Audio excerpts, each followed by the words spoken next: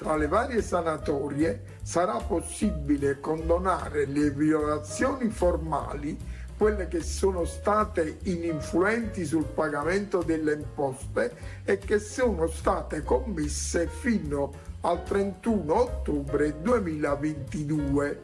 L'importo dovuto sarà di 200 euro per ogni periodo d'imposta.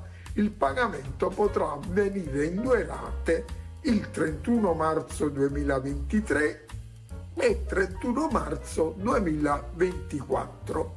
Un provvedimento importante per consentire a chi ha sbagliato in buona fede di sanare con poco errori che non hanno gravato sulle casse dello Stato.